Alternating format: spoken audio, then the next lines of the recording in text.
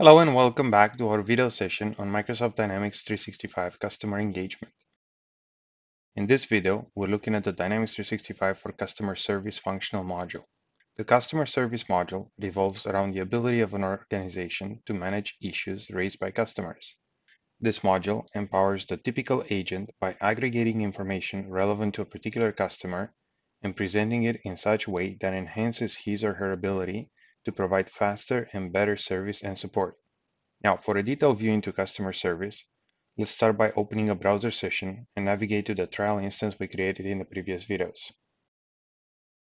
If you do not have a trial instance, follow the previous video on create your first 30-day trial for help creating a new instance. If you already have an instance, you can follow along with it.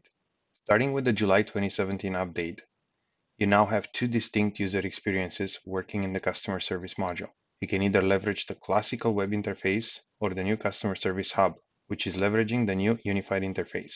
This interface has been designed from the ground up to be responsive and extendable with more visual controls. Let's start by looking at the classical web interface first. On the top navigation, expand the service dropdown. As I mentioned previously, starting with the July 2017 release, we now have also the Customer Service Hub. If you are in another module, like let's say Sales, select the drop-down and select Service. You will be taken by default to the main dashboard in Service. Here, you can select from a subset of dashboards relevant to the service module. As you can see, they are all prefixed with customer service. You could have additional customer dashboards present depending on the configuration that were already applied to your environment. We'll look in more details at the elements available in this module a little later when we look at the typical case management process. As I mentioned previously, starting with the July 2017 release, we now have also the Customer Service Hub.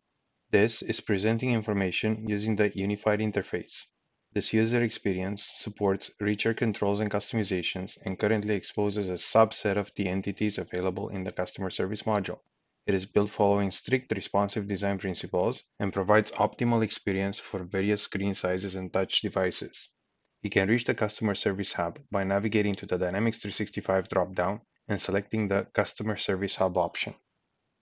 Now, if your Customer Service Hub is not installed, you must install the Dynamics 365 Customer Service Hub application from the Administration Center, available from the Dynamics 365 Administration Center solution. Note that for mobile devices, you need to install the Dynamics 365 for phones and tablets. Here, if we look at the elements available, we see that indeed there is a subset of everything that's available in customer service.